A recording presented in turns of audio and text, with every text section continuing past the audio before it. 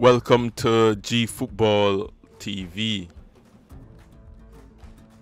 Manchester City wins the English Premier League title after beating West Ham United 3 1 in the EPL match day 38.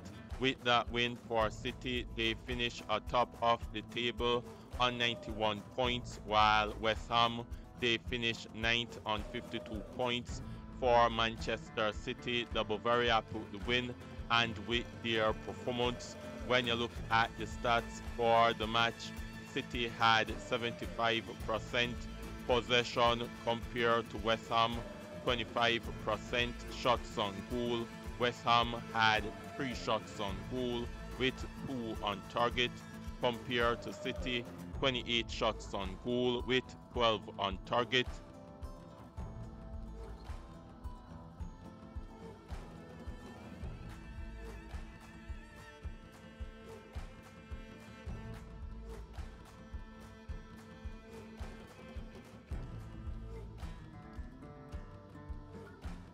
For the latest on the Bundesliga, the Champions League, Serie A, La Liga, Liga, and the English Premier League, subscribe to G Football TV, subscribe to G Football TV, subscribe to G Football TV.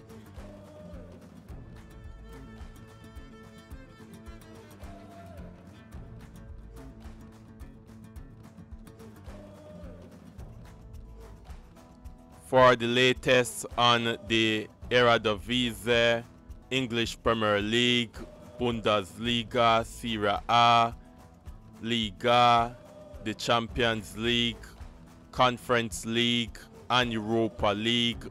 Subscribe